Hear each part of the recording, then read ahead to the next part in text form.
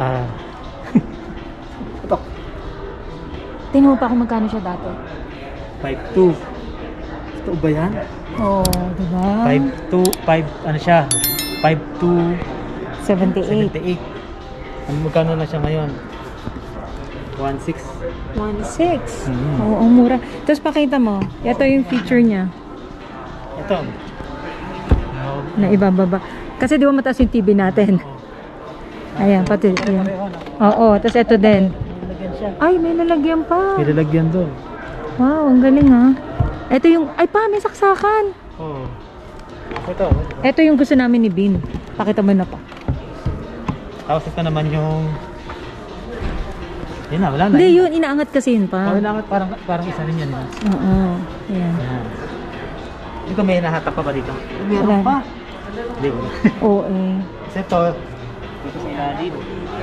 Yun. O, di doon ako yung matutulog sa baba. May kwarto na tayo. Ayan o. Yan. Oh. Pwede. Libreng ano, kunan.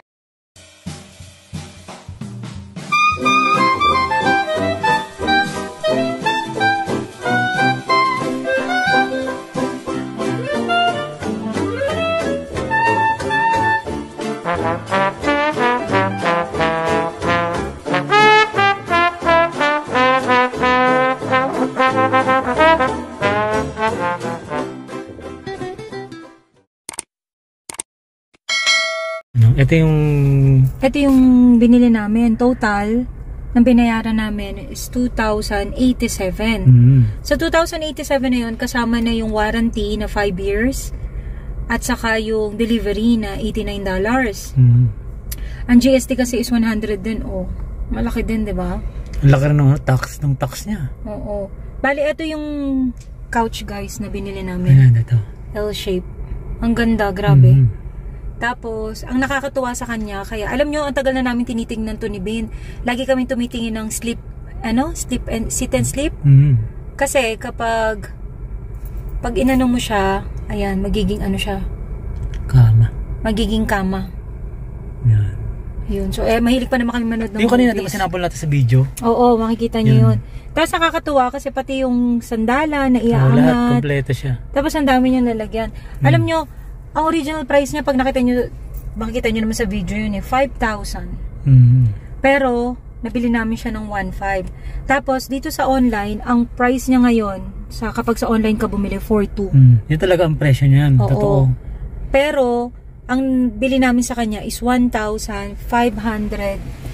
Yun lang kasi may 79? tax sale. 1,500 something. So, parang naging 1,700 siya kasama yung Mm. tax. Tapos, since meron siyang insurance sa 300, tapos may delivery charge siya, Mm. kaya naging 2,000. Pero, sulit na sulit yun. Oo. Ang problema pala doon, yung couch na yon since L-shape siya, di ba guys, dalawang piraso yon Mm. Itayo mo dito pa, uy, nakaharap tayo. Dalawang piraso siya. Hindi nila napalitan yung price. So, dun sa floor, ang nakalagay, 1,500 something. 1,000, sabi natin 1,600. Supposedly, times 2. Kasi, yung couch at saka yung pa-L. So, Mm. ang total dapat nung couch na yon is 3,000. Three days later. Yun o mga ka-team o. Medyo maluwag yung sala namin. Yan, para magka... Yan, tinabi namin yung ibang mga gamit. Oo. Yan. Yan. Diligyan namin ng space to para pag dating nung in-order namin sa The Brick. Yung vlog namin ng isang araw. Yan, para makita niyo yung napakamurang binili namin na ano. Sofa. Sofa bed yun eh. No? Yan. Bigyan namin ng space. Yan. Ini iniintay ko siya. Yan, bali, iniintay ko siya kanina pa. Magmula, sabi 12 to 3 p.m. ang dating. Kaya nung iniintay ko na siya, eh, 2 p.m. na. Number, ano pa lang siya, number 13 kami sa deliver. Eh, number 8 pa lang. Eh, may pasok ako eh. Kaya, mamaya, baka si, yan sila, Shakira, sila, stay na lang yung mag, ano, mag-asikaso. Yung papakita nila mamaya. Para pag uwi ko mamaya, naka, ano na rito. Yan, nakalagay na rito. Ayan ang mga katim at uh, ano oras na? 2 ano na? 2.05 na. Kailangan ko nang umalis at pumasok. Sila na lang mag-iintay noon at si ma'am, si Este, eh, saktong pag-uwi na baka sabay sila ng delivery. Pag-uwi niya, nandito na yan. Yan, ganun lang mga team. At mamaya naman uli. 20 minutes later.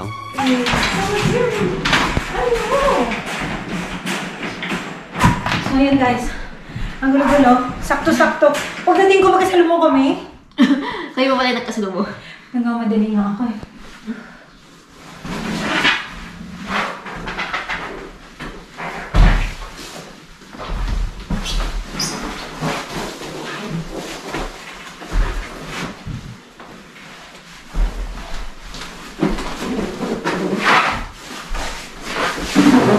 Sana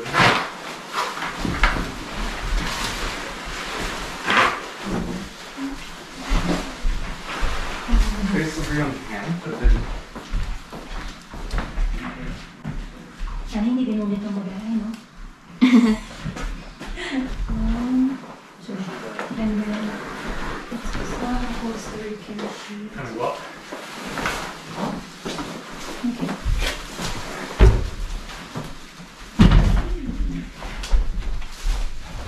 done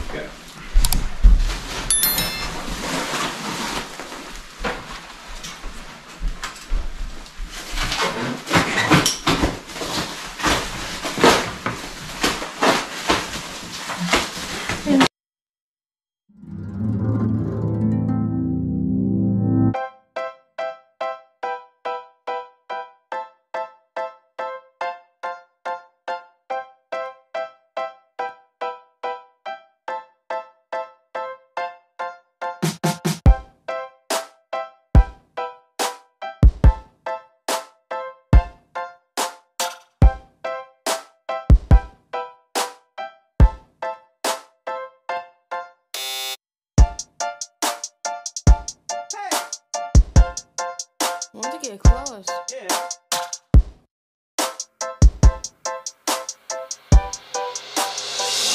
Ah, si Kara, kinocontain lang. I was thinking na kami yung mag-assemble. Sabi ko, oh my God, yung assemble namin to ni Kyra. Pero, fortunately, hindi na. So, usog natin anak. Tulak mo. Teka ha. So, i-ice natin. Wait lang. Pwede ka. Ay, kasi dito, tumatama. Ayun, tulak.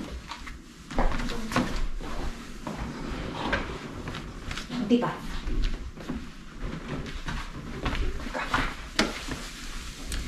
Yan, tulak. Yan, sakto na yun. Kasi yung saksakan. Wow! Ang matutuwa si Papa. Sa isang tali. Martin, look! So, ayan. Ba? May charger dun. Oo. So, ayan siya guys. Naiaangat to. Hello Marty, what can you say about the new couch? Thank you. Wow, pag nanonood kami ng movie guys. Pwede, na tayong apat sa isang ano. Oo nga. Kasi na kaming apat. Hindi na ano, nakasingit lang yung isa. Okay. Lock na yon? Hindi, paano lalak? Kasi, May isa po ano eh. Nilala. Oo nga, minsan nalalak. Kasi sinubukan ko tayo mga...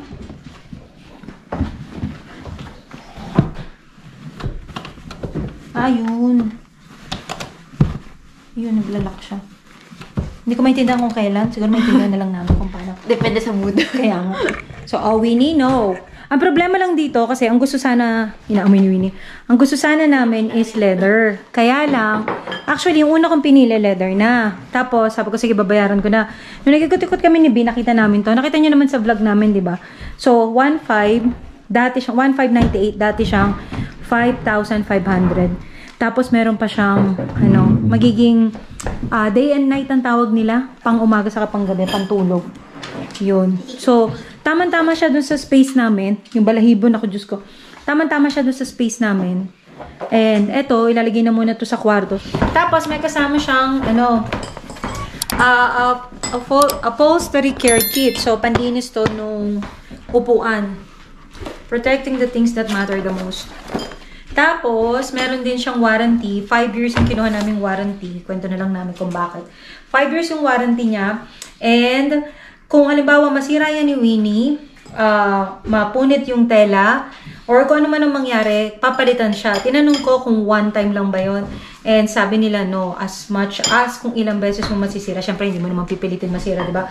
Pero just in case, mapunit, marip yung upholstery mo, yung ah, cloth, or, asa si Chico? Ako nga. Chico? Or siguro yung... Come here, Chico. Why? Why are you so scared? Wala naman tao. Or siguro... Ay, kalabaw. Etong ano? Etong... What do you call this? Yung parang head niya. Headboard. Ewan ko. Basta headrest. Ah, masira. Mag-malfunction. Siguro papalitan nila. Ayun. Check ko na sa coverage ng warranty. May kasama siyang dalawang throw pillow. Yan. May kasama siyang throw pillows. Kaya nakakatuwa kasi kahit pa paano, kompleto. Kompleto na yung upuan. Model na yan is yan na yung natitirang stock dun sa store. Kaya hindi na siya yung naka-disassembled na naka-boxes pa. Kumbaga parang ano na siya. Kapag pupunta ka sa mga store, di ba? Tapos kung ano yung nandun, last piece na siya. So pagdating dito, assembled na. Sabi ko pa nga, Diyos ko mag-assemble pa yata ako. Pero, fortunately, hindi naman. Oh yeah. Cloth siya ha, guys. Nakalimutan ko yung tawag nila sa cloth na to. Letter C, Chanel, Chevrolet. Yan. And sa nakikita ko, kumakapit nga talaga yung balahibo. Well, wala tayong magagawa. Ganun talaga. And malambot naman siya. Ayan, malambot naman guys. Sarap naman. Upuan. Tapos, my God, blue pa rin. Favorite color ko. Ito yung kasama dun sa dating couch.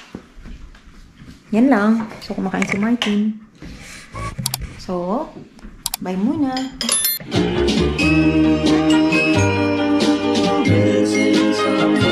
Missing someone